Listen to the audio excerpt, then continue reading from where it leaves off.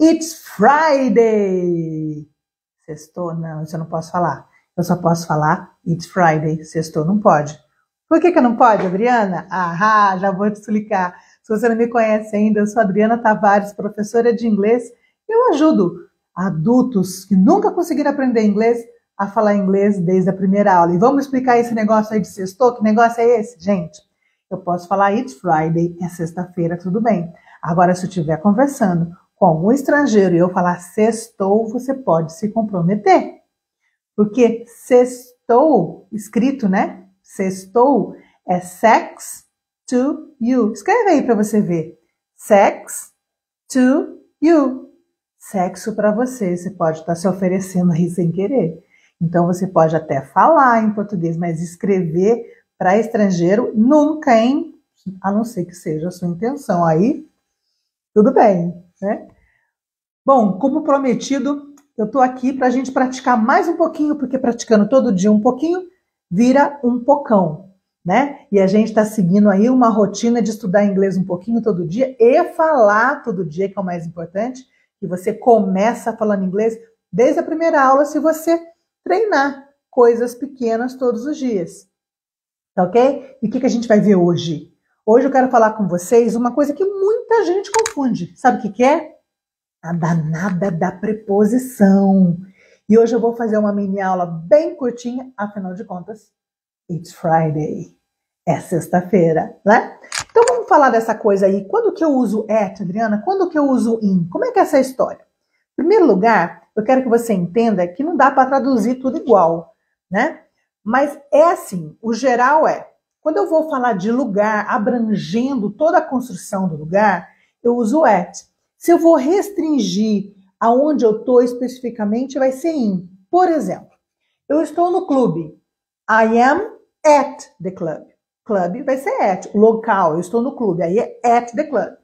Agora eu quero falar que eu estou na piscina. I am in the swimming pool. Eu estou at the club in the swimming pool. Vamos pegar a escola agora. Olha, I am at school in the classroom. Eu estou na escola, estou com o microfone ligado. I am at school in the classroom. Eu estou na escola, na sala de aula. E você tem que tomar cuidado que às vezes você pode. É, gente, escutando um barulhinho esquisito aí? É a minha borda que fica cavando no chão, achando que ela vai para o Japão, tá? É minha companheira. eu esqueci que ela estava aqui do lado. Então, se eu quero falar assim, olha, Gaia, vem cá, Gaia, para com isso. Parou. Então, eu só quero falar assim: olha, é, eu estou no hospital. Cuidado com isso. Se eu falar I am at the hospital, é o lugar. Estou no hospital. Agora, se eu falar I am in the hospital, você está internado. Então, você pode falar com seu, seu amigo: Ah, cara, eu vou mais tarde, I'm in the hospital. In the hospital? O que aconteceu com você? Você está doente? O que, que houve? Cuidado, tá? Você pode estar só visitando alguém no hospital. Então, you are at the hostel. Agora, se você estiver in the hostel, você está internado. Então, algumas vezes, a gente errar essa preposição compromete o sentido da frase. Tudo bem? Então, eu posso falar, eu estou em casa. I'm at home. Ou só I'm home, não estou nem indo at. I'm at my house in my bedroom, dentro do meu quarto. Ficou claro? Outra preposição que muita gente confunde também é quando eu vou falar de meio de transporte. Quando que eu uso in, on? Como on, Adriana? On não é em cima? Depende do contexto. Quando eu estou falando que eu estou no carro, que eu estou no ônibus, eu estou no avião, eu estou no, uh, no táxi, sei lá, no Uber, depende se dá para você ficar em pé. Essa é a dica que eu te dou. Dá para ficar em pé? Dá para andar ali? Né? Tem espaço? É on. Então, I'm on the plane, I'm on the bus. I'm on the train. I'm in the car. Tá? Essa é a dica que eu dou para vocês. Ah, Adriana, e moto? Bicicleta. Gente, aí é outdoor, né? Você tá ali ao ar livre. Não tem limite. Então vai ser on também. I'm on my bike. I'm on a horse. I'm on a motorcycle. Tá certo? Então eu falei que ia ser uma mini, mini aula mesmo. Só para constar que a gente veio aqui praticar.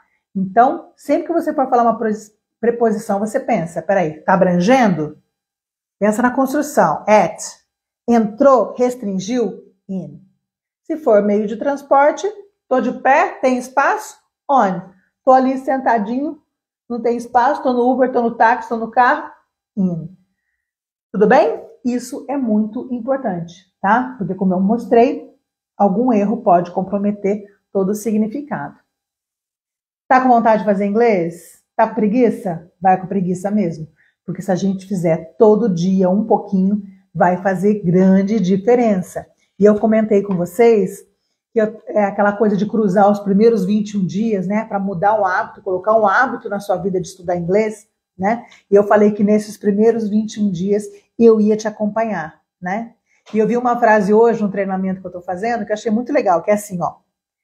Vai sem pressa, mas vai sem pausa. Então, você quer estudar um pouquinho todo dia? Estuda um pouquinho, mas vai todo dia. E nesses primeiros 21 dias, eu quero te acompanhar, porque é a fase que a gente mais desiste. Desiste da dieta, desiste da caminhada, desiste de qualquer mudança que a gente quer para nossa vida. Né? Então, nesses 21 dias eu vou com você, tá bom? De mãos dadas, a gente vai cruzar e depois a gente vai continuar.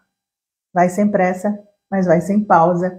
E você, falando inglês desde a primeira aula, logo, logo você está é, independente, com liberdade para se comunicar em inglês com qualquer pessoa que não fala português. Ok? Combinado? Então a gente se vê amanhã para aprender mais um pouquinho. Vai sem pressa, mas vai sem pausa. Combinado? See you!